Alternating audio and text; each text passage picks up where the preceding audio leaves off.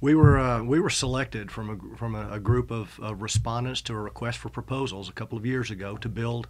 uh, to design and build a new convention center headquarters hotel, which will be a 525 room Sheraton hotel, and to do, do an expansion of the convention center, which will be a 30,000 square foot expansion of the exhibition hall and 22,000 new square feet of meeting space, and a parking garage which will be a 954 space parking garage over on the west side where the current surface lot is, and also because the new hotel will be built where the current west entrance is to the convention center, we had to build a new main entrance to the convention center on the east end, which is under construction today.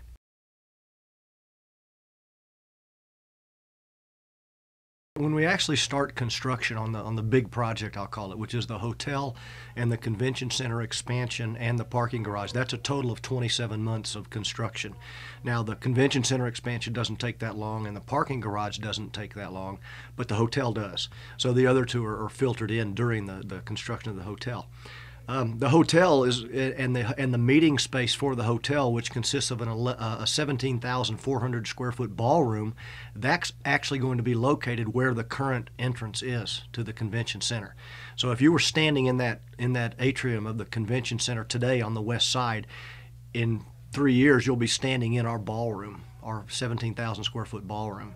And so it's it's uh, what we have to do is we have to demolish that entrance to the convention center, which is why we needed to do the new entrance on the other end. That'll start when we sell the bonds and when we start construction, which is anticipated late summer right now is, is the time frame for doing that. And we can talk more about the timing if you like.